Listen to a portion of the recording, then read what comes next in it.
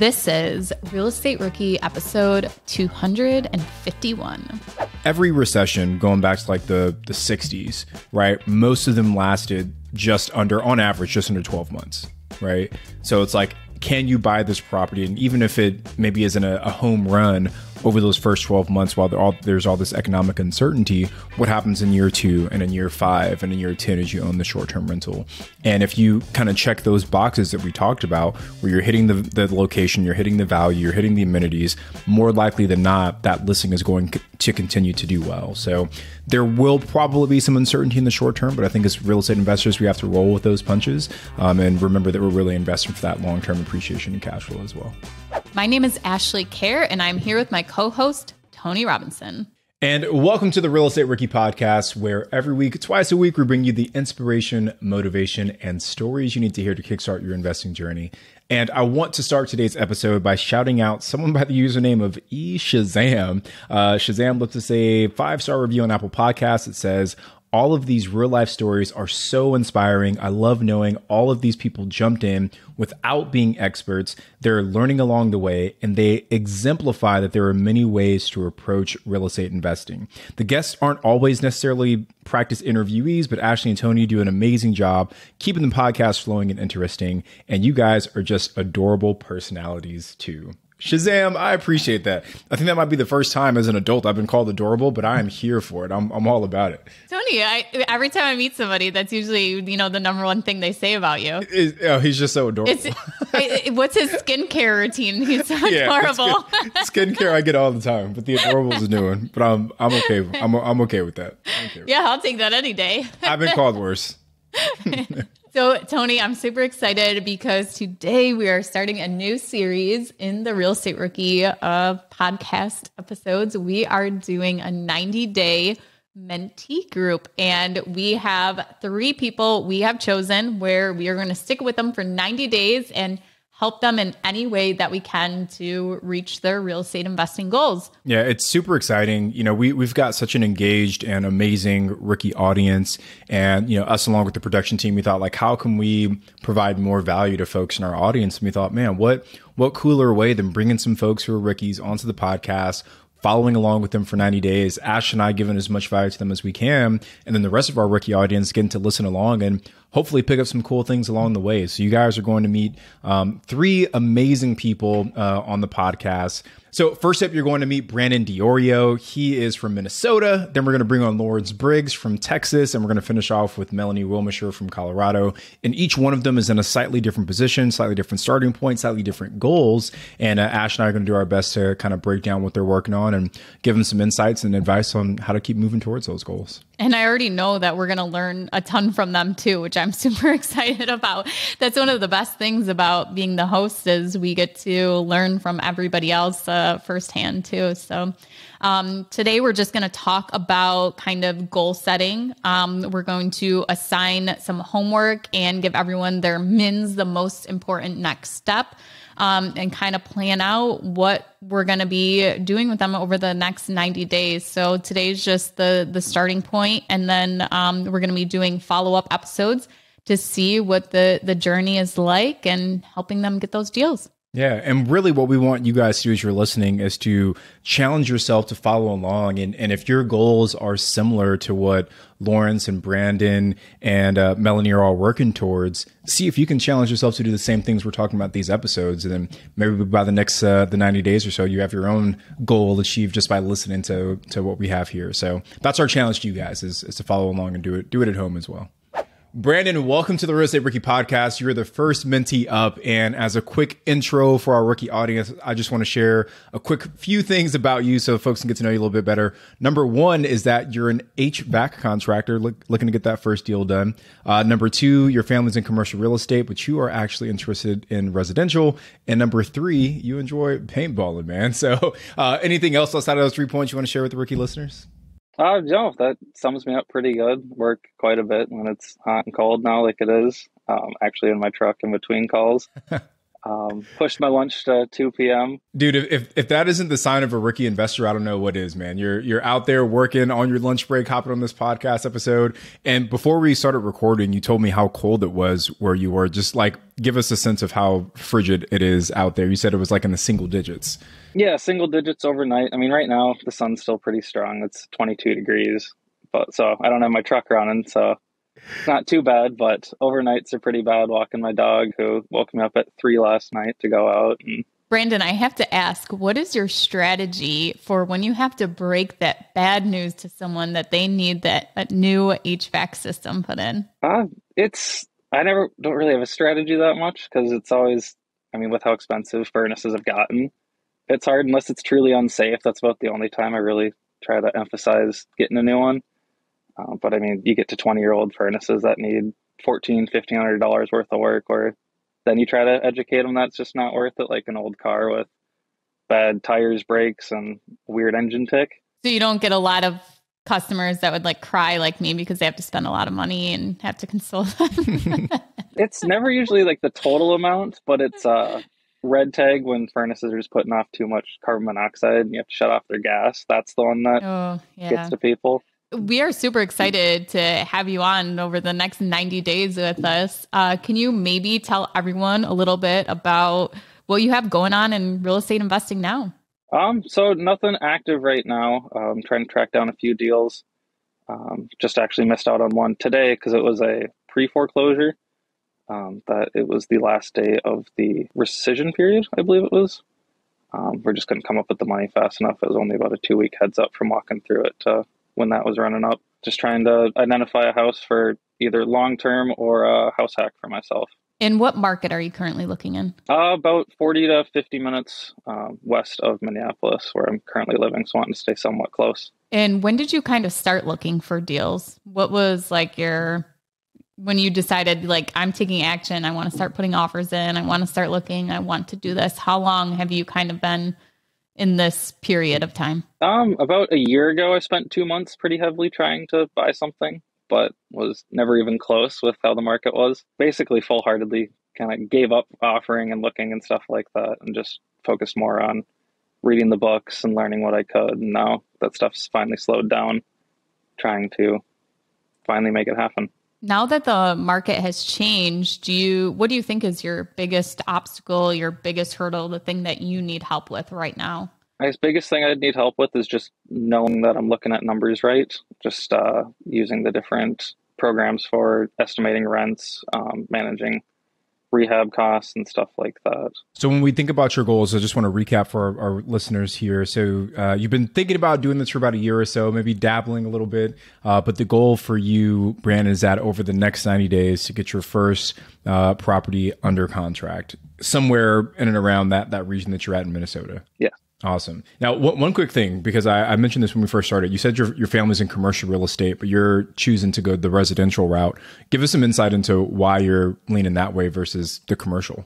Um, so right now, leading residential mostly just for the startup cost, um, down payment money. With commercials, just much much more. Mm-hmm.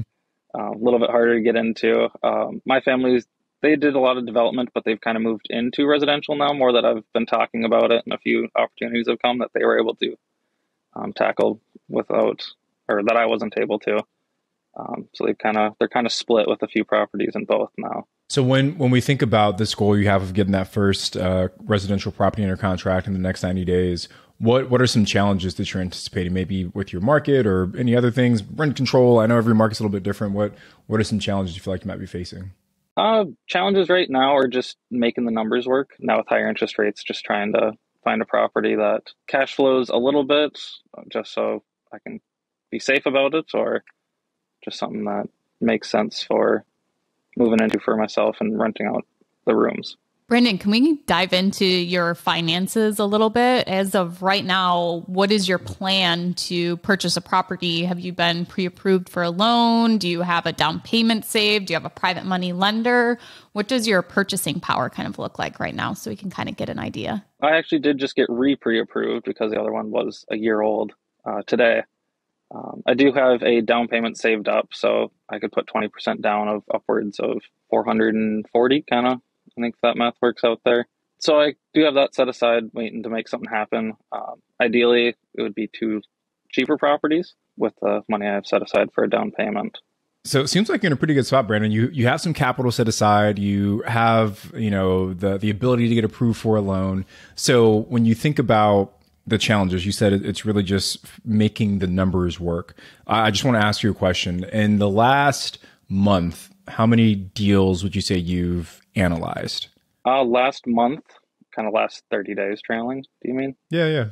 Uh, I'd say I looked heavily into about only probably about five looked heavily into and kind of 100 foot view on closer to 20. Brandon, do you have a buying criteria, like a buy box as to when you're looking at, you know, the property? It's like, okay, checklist, it matches this, this, oh, not that. Okay, moving on to the next one. Like, how are you doing that kind of overview of the properties and then deciding which one you're actually doing that deep analysis on? Um, that could be kind of where I hang myself up is I don't have a hundred percent buy box or anything narrowed down. The biggest thing, so for a house hack, ideally, I would like something with a master bedroom, um, which in the price point that I'm looking, there just hasn't been too many because it's older houses that just never had those. And for more long term stuff, my buy box for interest has been if it looks rough, has kind of sparked my interest.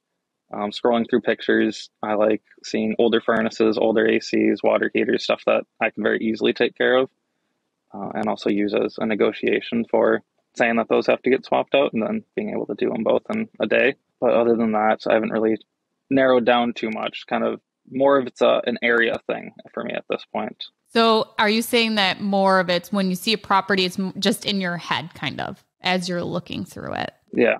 Okay. This, this makes it easy for us. This is your first homework assignment. So what I want you to do is actually like take the time to write down like some of those things you listed off to me and then think of more, add more things on like, you know, what is your budget for a property? Um all these different things that you want in a property and just start making a list of that. And then as you're going through and looking at these properties, maybe you'll think of more things like, oh, you know what, this property has this. I think that would be a huge value add. I'm going to add it onto my criteria, my buy box. So every time that you're looking at a property, you're going through the same checklist, and that will kind of get rid of the fluff and you won't be wasting time analyzing deals that don't meet what you actually want anyway. So that way you're getting it right off the bat as to looking for those things that are on your list so you don't spend, you know, more time on it. And then Tony, um, would be the the second part to that is doing deal analysis you think yeah I, I, think we gotta we gotta ramp up the volume of deals that you're analyzing um, so you said you did about five deals in the last month i want to like five, six X that. So if we can get you to a point, Brandon, where you're analyzing at least one deal per day, you know, you get off of work, you're eating dinner, whatever it is, just spend like that 30, 45 minutes analyzing a new deal. And what's going to happen is two things. First, the buy box piece that Ashley talked about, that buy box is going to become clearer for you because as you analyze more deals, you're going to start recognizing trends in certain areas or bedroom sizes or square footages around, okay, these properties tend to do better than these properties. So I'm, I'm going to narrow my buy box down to now just these things. So that's the first thing is your buy box gets tighter just by analyzing more deals. Second, there's a good chance that if you analyze 30 deals this month instead of five compared to last month, one of those 30 might be worth actually submitting an offer on. And I think that's the first hurdle that we have to get you towards is submitting those offers because that once that starts to happen, now we're getting closer to you actually closing on that first deal. Brandon, as you're doing, like, it's so easy for us to say that, but you're going to have to make the time and be intentional about doing that deal analysis and creating that buy box. So, you know, when we're done on this call or, you know, sometime even tonight is time block. Okay, this is the period, you know, this time period every single day, I'm going to be doing this. Or, you know what, maybe you're just going to batch do it on Sunday evenings. You're going to do, you know, seven different deal analysis. And, you know, even if there's not seven deals that meet your buy box, just grab anything just to practice running the numbers on it too. And just remember too that even though that's what the asking price is, that doesn't mean what you have to pay for a property. So just decrease the asking price, you know, your decrease your offer to to make the deal work, mm. um, and see what that number actually comes to. Um, So yeah, I I want you to kind of do those things and work on it. And you, if you need that accountability, feel free to post into our Slack channel that we have your deal analysis. So if you're using the BiggerPockets deal analysis, post those reports. And um, I might actually harp on you and nag on you if I don't see any activity in there. So just to help hold you accountable and just submit them in there. And then too, maybe, you know, we can provide more value to you as to like, look at this thing and, you know, maybe you could change that and just help you kind of fine tune that deal analysis too. All right. Last question for me, Brandon, just so I better understand your situation. Are you currently working with the realtor? Are you are you searching these deals yourself? What's your deal flow look like? So I'm currently working. My dad's the realtor that I've been working with. Um, I have my license as well, but it's frozen right now. Uh, I've been using kind of his insights on a lot of stuff, which might have been what's been slowing me down as well. Is I underwrite with an extra percent or two, and then he looks at it and adds a percent or two over what I have then stuff just has never worked out. um, so definitely need to kind of narrow it in there. So I, I feel like we've got a decent game plan for you, but you know, Ashley mentioned the idea of like time blocking, and it is difficult to make the time to do these things when you have a full time job, especially one that's like demanding from a time perspective, from a physicality perspective. So what I really want you to focus on, Brandon, is is why you're starting on this journey. So if you can share with us why is it so important for you to reach this goal and what does your life look like if you're not able to make this happen in the next 90 days? Yeah, so um, guess biggest thing is to have the flexibility if I want that as I kind of grow up, start a family. Um, I don't want to get to the point of wanting a family and wishing I had more time for that. I love what I do, but um, physically, I don't want to be struggling to kind of get up out of bed when in 20 years because my knees are gone or something like that. But I want to do what I am doing as long as I can because I do enjoy it, but I do want the freedom um, when I might need it if something unforeseen happens or um, wanting to focus on family stuff. Brandon, that's a, definitely a great why, and we're super excited and help happy to help you. Uh, and just you know, make sure you go through that homework um, until the next time we touch base. It's so easy and some people may be thinking like oh that's so obvious of a thing to do but how many people actually sit down and do it? That's the hard part is sitting down and actually doing it. So easy to tell somebody or to know that you have to do something taking the action and actually doing it. So, um, Brandon, um, if there's maybe somebody who's kind of in the same situation as you and maybe wants to reach out to you and have some accountability, um, where would be somebody, some place that they could reach out to you or find out some more information about you? Uh, Instagram would be best. Um, it's brandon.diorio, so my full name, um, so B R A N D O N dot D I O R I O. Okay. Well, Brandon, thank you so much for uh, taking the time from your lunch break, and hopefully you have a couple minutes to eat. Uh, usually, Tony shoves his face, uh, you know, before any recording. So feel free next time to you bring your eat lunch. While you're doing you. it, it's totally fine. yeah. okay, Brandon. Um, we'll see you next time. Thank you so much. Yeah. Thank you, guys.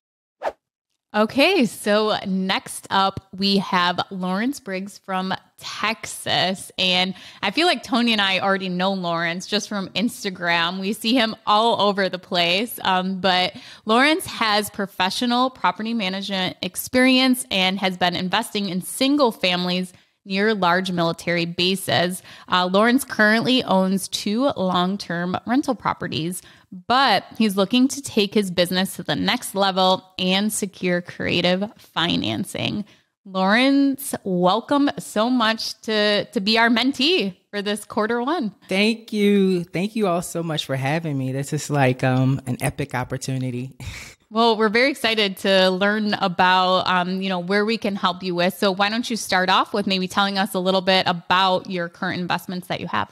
Of course. Uh, so I have two long term rentals. I actually purchased two rental properties within six months of each other uh, this year in 2022.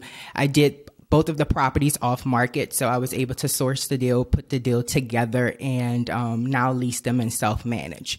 So right now, um, leading up into 2023, um, my Q1 goal can go either way. Um, I'm very close to becoming 100% consumer debt free.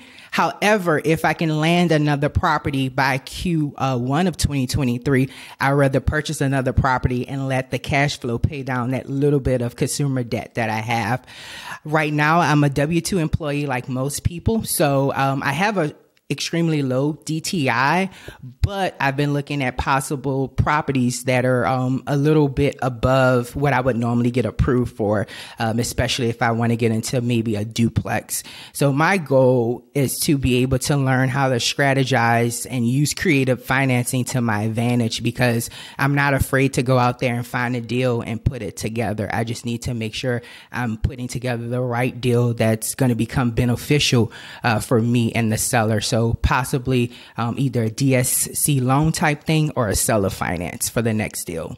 So Lawrence, I mean, first, congratulations on knocking out those those first two deals and doing them such a, a, short period of time. I think so many of our listeners are looking to be in that same situation, right? So you you've already kind of set a foundation there. Thank you. So when you talk about your goals, it really is kind of adding to that portfolio, but really focusing on, like you said, either um, some kind of DSCR based loan, maybe some subject to or seller finance type deal, But what type of property are you looking for? Are you looking for a single family residence, large multifamily, small multifamily? What, is, what does that property type look like? Of course. Uh, so my ultimate um, buy box are single family homes, just because I am close to a military base, and so it's very advantageous uh, for uh, single family homes um, to be available in this area. Um, and then my secondary buy box would be um, either a duplex or a fourplex, but again, that would be contingent on if I can put together a stellar win-win seller finance deal or a DSCR uh, type deal. So, Lawrence, when you think about the the steps you need to take to get from where you are today to getting that that first kind of creatively financed deal in place, what does that roadmap look like to you? Uh, definitely, um, I need to learn how to be able to um, analyze those properties to make them work for seller finance. So that's kind of like my biggest hurdle that I would um, definitely be uh, very appreciative for you all to help me in that area um, to be able to look at deals and say, okay, would this work for DSCR and or seller financing or possibly subject to? So that's like my ultimate goal of learning how to analyze those those properties because we all know as a of 2022 going into 2023, there are some roadblocks when it comes to like interest rates with traditional uh, financing. Yeah, I think one way we'll be able to help you, Lawrence, is to submit multiple offers. So looking at a deal and saying, okay, what number price point would this work at with seller financing? What would this look like with doing um, a bank loan? What would this look like if we can you know, do subject to on it. And Lawrence, do you want to just explain to everyone what subject to is? Because we don't hear that a ton, but we did recently do an interview with uh, Pace Morby uh, as a rookie reply. So if you guys want to go back and listen to that more, um, but Lawrence, you want to just kind of describe it real quick, what it is? Yeah. Uh, so I've never uh, did a subject too long, but what most people do is what they're going to do is they're going to take over um, pretty much an existing loan.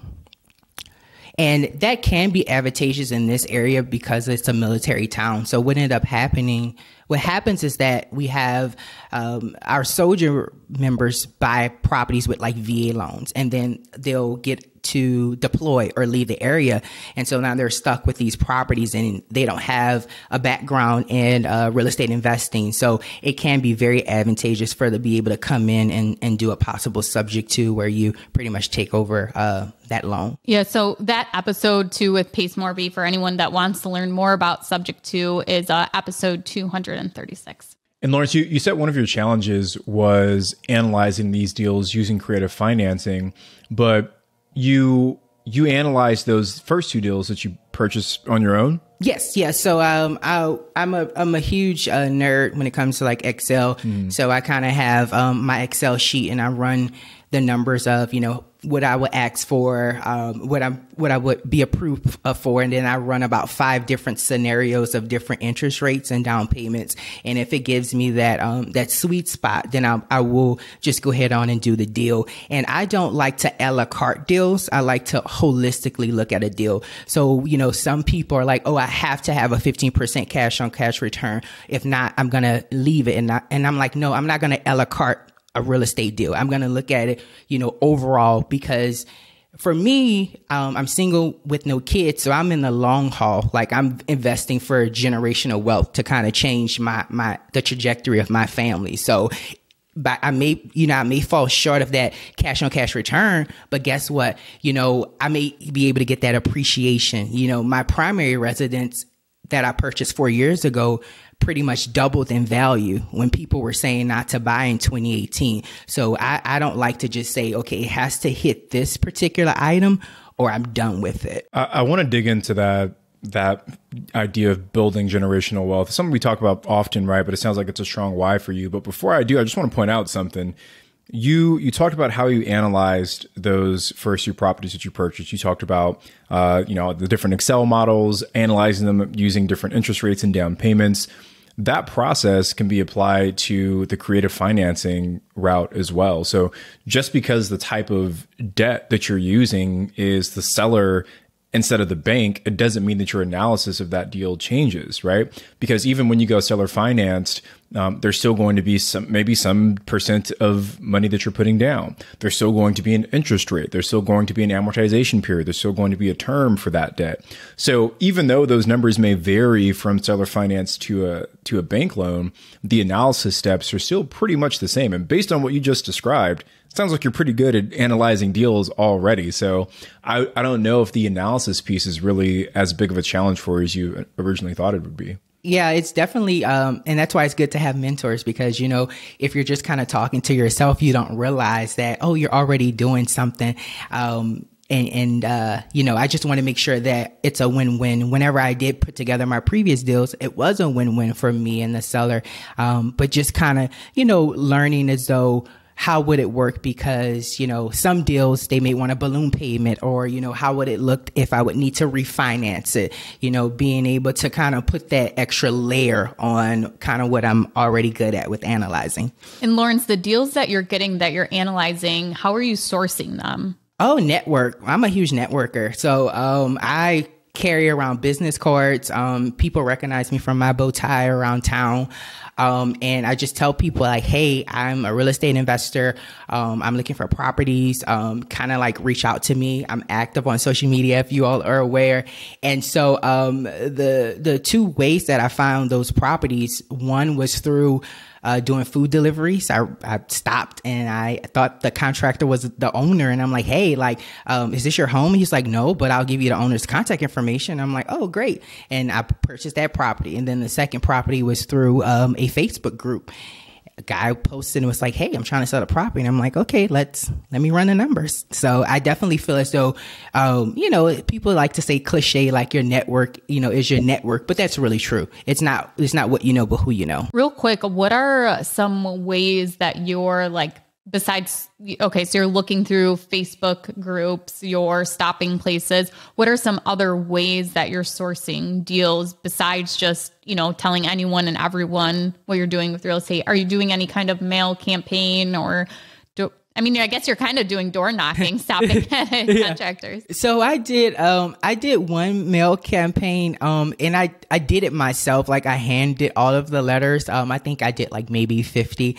um, because I was like, I really want them like handwritten and stuff. I think probably after like the 10th letter, I was like, I'm over it, but I gave myself a goal and I sent, I gave myself a goal and I sent out like about 50 letters. Um, I didn't get any deals from it, but I end up connecting with a realtor who said, Hey, did you ever send a letter to one of my clients? Because I think he received a letter and he definitely doesn't want to sell, but he, he had never received a actual handwritten letter. And she's like, we'll keep you in mind if, if he decides to ever sell something from his portfolio. So, Lawrence, what is your why for all of this? Why are you grinding and hustling to become a real estate investor? What's what's the purpose behind it?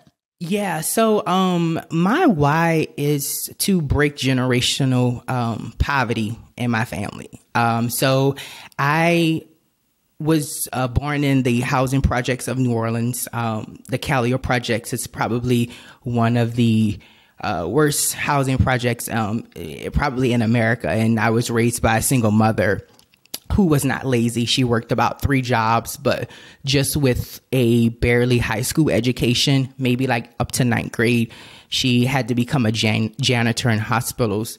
And so, um, what she did was, um, as a single mother, she tried to help me and my sisters. I have, I'm one of seven. I have six sisters, and um, she didn't have a financial literacy background. You know, my work ethic comes from her, but she didn't know like you can't just get wealthy from working.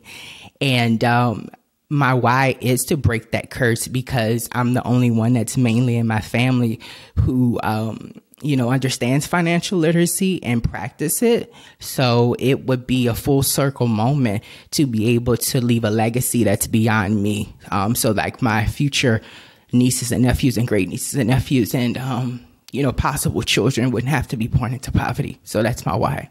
Lawrence, I'm so proud of you. Like just stating, you know, that you've taken the initiative to educate yourself and that's, you know, that that's very hard to change how you've kind of known everything for your whole life to to change and to want to, you know, take action onto something else. Um and I, I think that is a, a great why. And it seems like Thank it's you. um you know, definitely motivation enough for you to to keep going and to really create that generational wealth.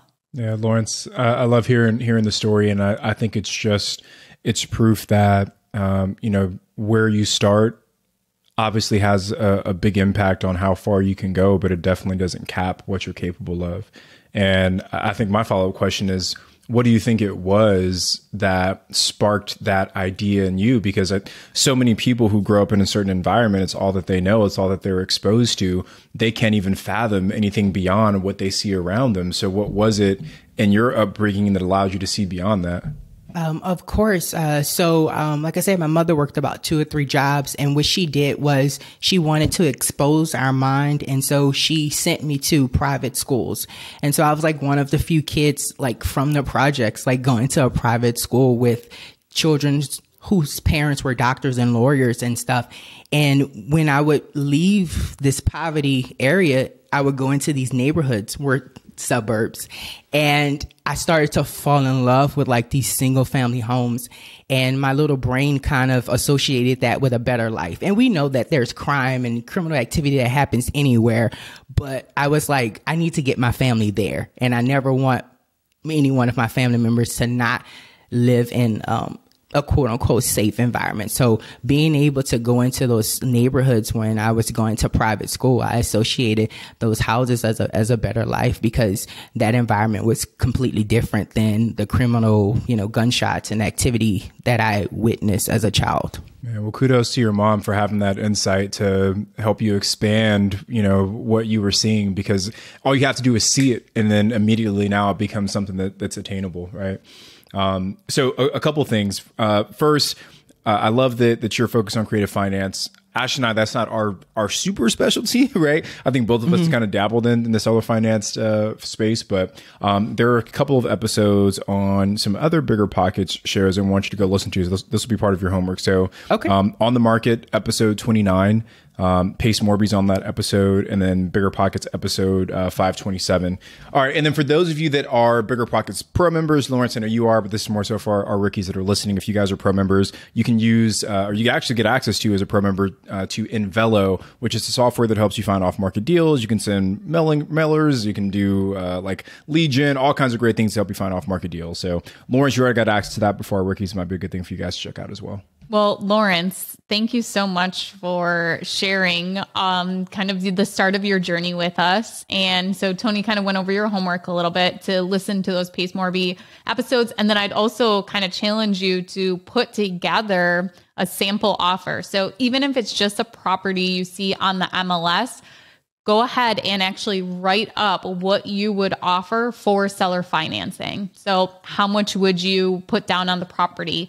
What would be the interest rate you would do? Um, how many years would you have it amortized over? Would there be a balloon payment? Would it be callable? So put together a sample offer. And then I want you to bring it with you next time we're in a call and we're going to go over it and kind of look at it. We'll look at the numbers on the deal and we'll look at how you set up the the seller financing on it and what number actually makes sense to purchase the property at. Awesome. That sounds great. I'm ready to get to work. And Lawrence, what is your Instagram if anybody wants to connect with you? Yes. So my Instagram is Lawrence, common spelling, L A W R E N C E underscore Briggs, B R I G G S. You can't miss me. I have a big smile and a bow tie. Lawrence, thank you so much. And we cannot wait to spend the next 90 days with you and provide as much value as we can to help you continue your investing journey. Me too. Woo! Melanie, welcome to the Real Estate Rookie Podcast. You're our third and final mentee for this episode, and we are super excited to share your story with our audience here and kind of get into what's going on over the next 90 days. Quick background on, on you, Melanie. You've already got two properties in Colorado, which is amazing. Uh, you spent the last month in Florida looking at some short term rentals out there, so excited to dive into that. Um, you already have your real estate license, which is great. And uh, the long term goals for you are stepping away from that W 2 and uh, spending part of the year in somewhere that's a little bit warmer than, uh, than Colorado. So uh, excited to have you on the podcast, Melanie. Welcome, welcome to the Mentee Group. Thank you so much. I'm so excited to be here. Uh, couldn't have introed myself any better, and um, yeah, really, really excited to be part of this cohort. Um, Lawrence and Brandon are uh, wonderful. We've been kind of chatting offline, so just very grateful for the opportunity. Exciting. So I know you're you're looking at short term rentals, but um, how has that journey been for you so far? Because you already have the two long two long terms in Colorado, right? And this will be your first short term. One's actually a midterm, uh, part of our primary residence, and we kind of stumbled into it. It was meant to be long term, but yes, uh, this would be uh, the short term venture. So, what are some of those challenges you feel like you're running up against as you uh, step into this this world of short term rentals? Yeah, so I guess to give you some background, um, I you know went to BPCon and sat in on Amanda Han's session about uh, tax strategies and basically learned about cost segregation uh, studies and you know specifically the benefits of being a W two employee um, and having an, an STR. So I left BPCon and just said, okay, I've got to buy an STR before the, the year is over. And, you know, I, I'm a native in Colorado, but I couldn't hate being cold any more than I possibly do. And so I thought, you know, I, I uh, Florida is probably the place. We have family there. Um, and I am just going to be committed to that process. So I found an agent off the, the BP forums and he's been phenomenal. Um, we've been talking a lot about what what I was interested in, kind of my budget, um, and you know, pretty quickly off the bat, I, I realized I was feeling a little in over my head. Um, my W 2's in the tech industry. And when I started the process and thinking about it, I felt like I just had more risk tolerance in general. Uh, and I'm starting to feel like I have just a little bit less. And so thinking about buying, you know, 400, 500, thousand dollar property with a pool that would do really well on Airbnb just became a little more nerve wracking. And so that was kind of the start of that, uh, we shifted a little bit. I changed my price range a little bit.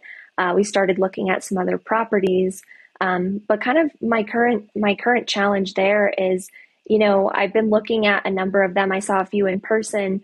Um, the average daily rate is just not uh, in, in some of my analyses just not panning out to really show any profit and in many cases it's quite negative um, and I think that makes sense for my price point and kind of just, you know, looking at some of the properties a little further off the coast. But I, what I would say is my biggest challenge is do I really need to reconsider this move for the current uh, time that we're in? You know, I'm, I'm looking at um, occupancy on Airbnb properties all over Florida and just seeing much lower occupancy that I would expect and what I would what I've heard to be peak seasons. And so thinking about viability, you know, considering the state of the economy, economic headwinds, and everything, I just want to be smart about this goal because ultimately the idea is to have a cash flowing property.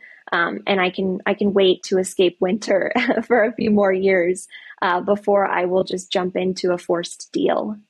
Well, I appreciate all that background, Melanie, and uh, I know a few follow up questions from from me here. So, what what would you say is more important to you? Is it getting a property in Florida, or is it getting a getting the right property anywhere? Great question. It is getting a cash flowing property. Uh, the broader goal is becoming financially independent and finding cash flowing properties. And so I would easily sacrifice finding a property in any specific area if I could locate one that would that would add to a portfolio, my portfolio, and um, start to help generate real profit. So one one additional question: Have you looked at any other markets outside of Florida? Yeah, I, I follow the short term shop. I really love Avery's podcast. Um, I know some of the areas that they're active in. Um, I think my, you know, I haven't done any analysis there, but I looked at, besides the area I was in in Tampa, some of the other Florida markets that they were looking in. Um, I know they're in the Blue Ridge Mountains, some areas in Georgia, Mississippi as well.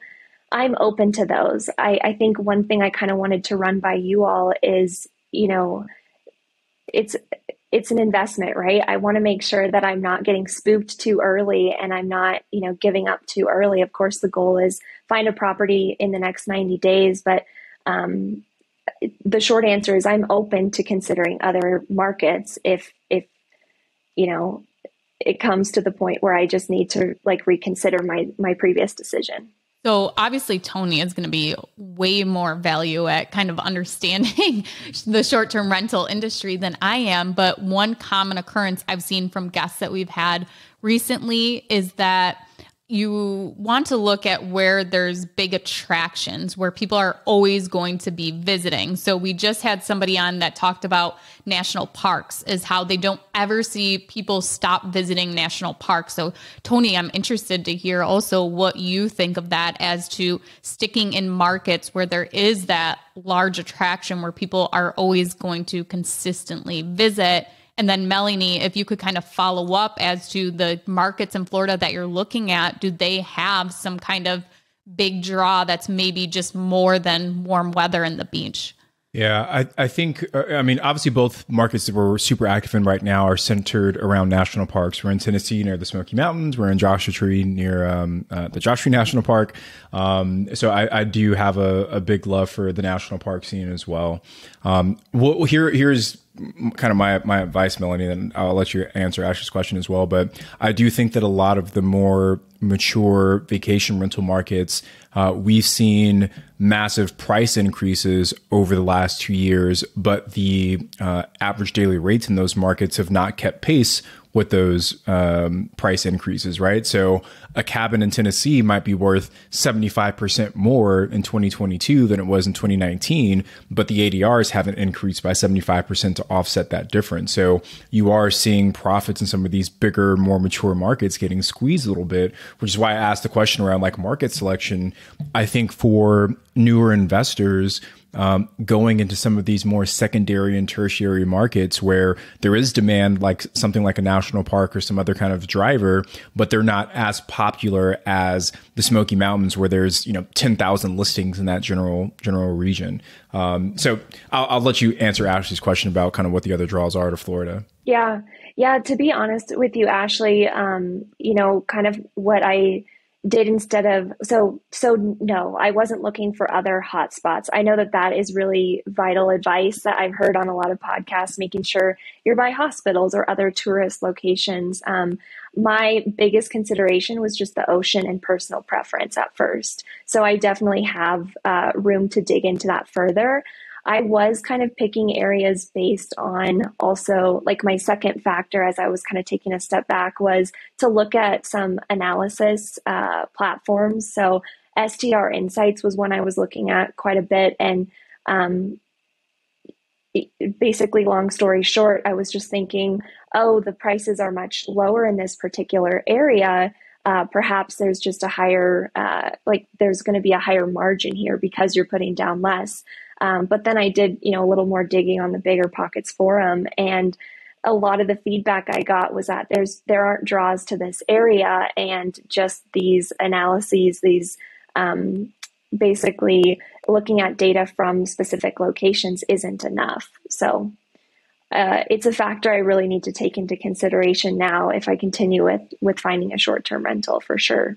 Yeah, I mean, my short term rentals are all in very rural areas where, you know, the attraction is, you know, a, a very small hospital or people just come and stay because there's only one hotel in the town. So there's literally nothing else. But also, I'm doing Airbnb arbitrage where there's very ri- little risk. I'm not, you know, dumping $400,000 into a property. Um, the ones that I do own are fifty to $100,000 properties. So it's not, if they're not these huge investments that, you know, if for some reason people aren't coming there anymore, it's not, you know, that big of a deal that I, I can cover the cost of it for a while. But with with doing you had said that you're getting the negative cash flow when you're doing the deal analysis.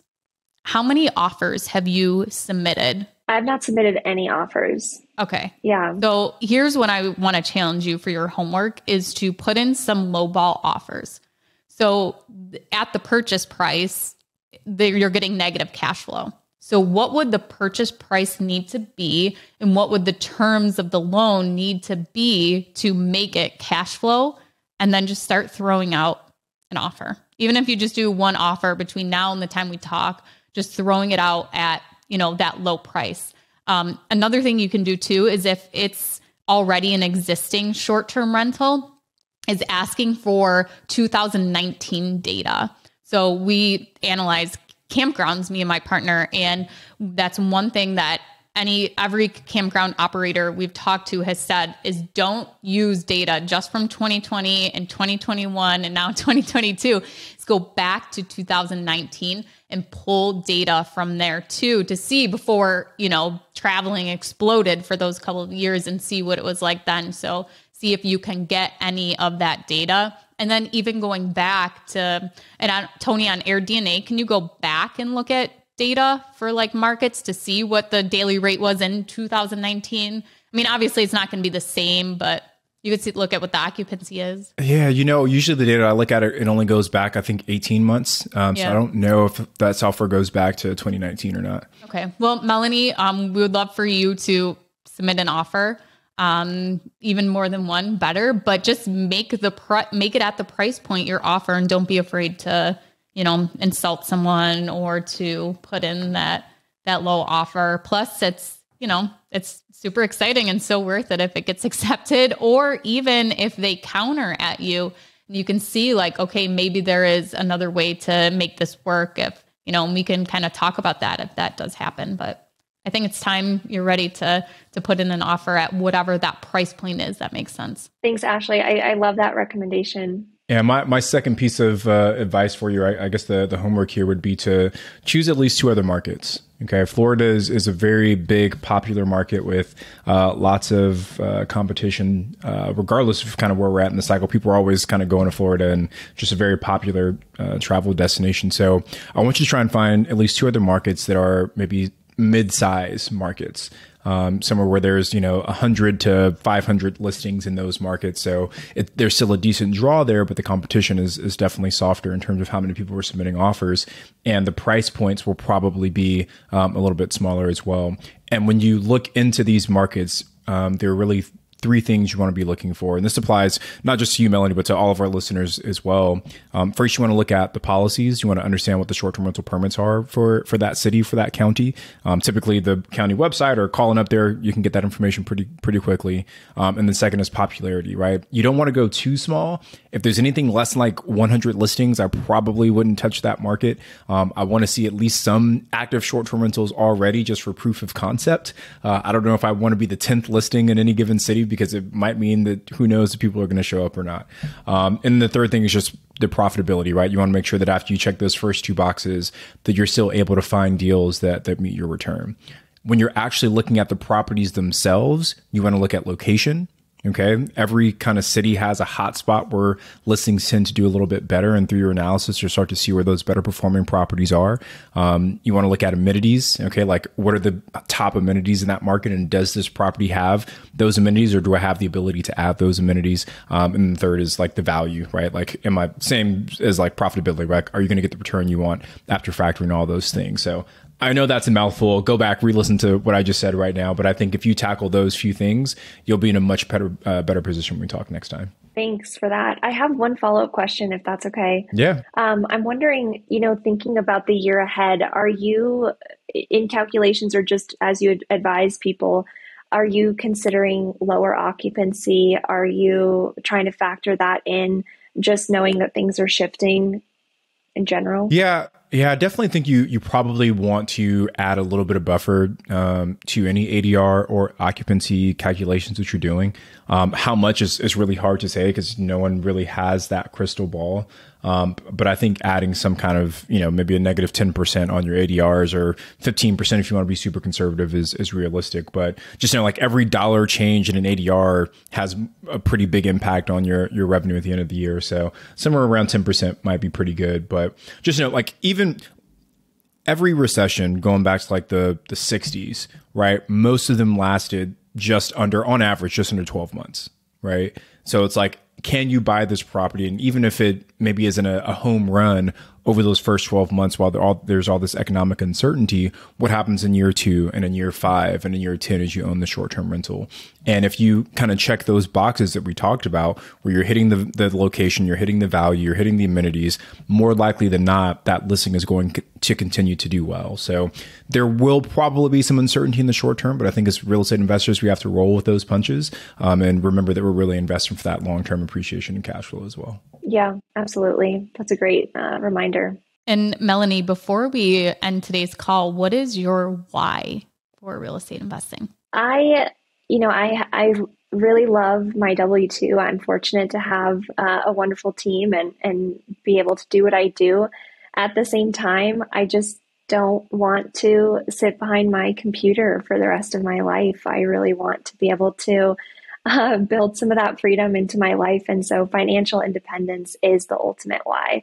Um, it helps that real estate is so fun and challenging and exciting and interesting. Um, and so I'm just very motivated to continue learning and growing. I think, you know, I, I also uh, have pursued getting my license on the side just because I really do evaluate or do enjoy evaluating deals. And so I hope that that continues to be part of my career, but a little bit more flexible as uh, time progresses. Well, Melanie, thank you so much for joining us for the next 90 days. We're super excited. And where can someone reach out to you if they want to connect with you? I hate to sound just so dry, but I would uh, ref, uh, I would encourage you to go to LinkedIn. I'm not very active on Instagram. I feel like I'm like always on LinkedIn. So just my name, Melanie Wilmisher, um, and super responsive there. That's probably got to be the saddest place for people to reach out to you that you've ever heard. One of my best friends, Leica, she is like a LinkedIn queen and she nags on me all the time because I'm not at LinkedIn and she has sourced so many deals from there, let private money lenders from there and investors to work with. Like she has had huge success with it. So, okay. Yeah. I'll take it. Yeah. Thank you so much for joining us, Melanie. So, Tony, we have just met our three mentees and went over their goals and gave them their first homework assignment. So, what are your thoughts? You know, I, I, think some of the, the, the things I'm seeing across all three of them is that you know the the challenges that they thought were challenges weren't as big as what they really were. And when you take some time to kind of unravel those, you you understand the steps you need to take are a little bit more clear than what they initially anticipated. So, and honestly, I think that's a, a big thing that a lot of new investors run into is like they there's this emotional aspect that makes things a little bit scarier than they really are. But when you take stock of all of the things you already know and things you understand, it is a little bit easier to move forward than you give yourself credit for. And I think like this can relate to me and you too, Tony, is sometimes we know what we need to do. It just takes somebody else to tell us to do that. Yeah. That's why I love having a trainer in the gym because it's like, yeah. I know I should be doing this, but like when they're in your face saying like, do it one more time, like then it, it, you know, it keeps you motivated. So hopefully we can have that same impact on our mentees here as well. And for all the rookies at home, we would love for you guys to set your own 90 day goals. And if you don't know what your why is yet, really um, try to define that and give you something that's going to give you the motivation and really energize you every single day to keep pushing forward to actually reach that goal. I'm Ashley at Wealth from Rentals, and he's Tony at Tony J. Robinson on Instagram. And we will be back with another episode. See you guys next time.